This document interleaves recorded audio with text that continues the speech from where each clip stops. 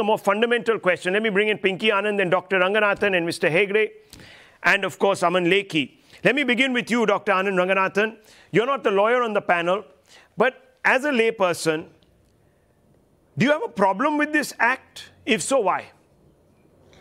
Uh, good evening, Rahul, and good evening uh, to my fellow panelists. It's a real um, exalted panel of, uh, I'm surrounded by six lawyers and I feel guilty already. So please pardon if I disagree. I disagree with my first two esteemed panelists already. I don't believe this is a, a, religious social issue. This is a, entirely a legal issue. And uh, I, I disagree with the earlier speaker about the definition of secularism. What he meant was pluralism, not secularism. But Rahul, to come back to this issue, and I have three or four points to make, and I, I really love this this whole setup of Converse. It really gives a lot of gravitas to the issues, and you know people are discussing this, uh, uh, you know, like the dust of thoughts, uh, allowing the dust of thoughts to settle. Uh, Rahul, sadly, I have to say this that history written by the victors is peddled by the vanquished, and we remain vanquished. To me, one of the most barbaric legislations ever enacted in India is the 1991 Places of Worship Act. But in 2019, the virtue signaling Supreme Court, in its Ayodhya judgment, willfully ratified this act that obligates maintaining all religious places as they were on August 15, 1947. Historical injustice of Kashi can now never be addressed unless parliament overrides it. Rahul, a legal recourse to correct historical injustices cannot be denied in a democracy. And please, this is not a Hindu or a religious issue at all. I, as a Darwinian atheist, demand the abrogation of the Places of Worship Act. Rahul, if a mosque had been demolished by a Hindu king and a temple built on it, I, a kafir, and an atheist for whom Islam sanctions death penalty, would have fought for the rights of Muslims to legally get back their mosque. I would have stood with them.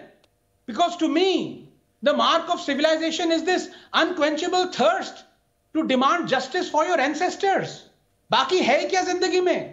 To correct a historical wrong. For that exemplifies a continuity, an idea, a memory that can never be erased, that is worth fighting for and preserving. It makes justice greater than the sum of its parts. And that is why civilizations are not fleeting like empires. That is why, Rahul, history is a medicine, catharsis a cure. If an image could speak a million words, it would be that of the Nandi, waiting patiently for 400 years for his Lord to emerge and for this historical injustice to be corrected.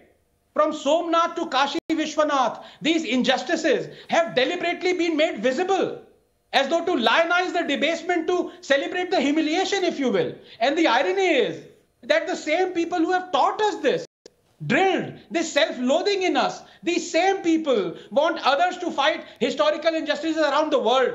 They condemn barbarians of the West hither to worship like the Confederacy generals, Rhodes, Churchill, Pizarro, Murray, Colston, Leopold. They celebrate their roads and buildings being renamed, their statues being brought down. But here in India, this same set eulogizes barbarians like Aurangzeb. Finally, I'll just 30 seconds to show you the extent of the conceit let me, if I may, read out to you a passage from the 2019 Ayodhya judgment where, my lords, exult and willfully ratify this act. Quote, the Places of Worship Act imposes a bar on the institution of fresh suits or legal proceedings. The only exception, other than Babri Masjid Ram Janambhoomi case, is in the case of suits, appeals, or proceedings pending at the commencement of the law on the ground that conversion of a place of worship had taken place after 15th August 1947.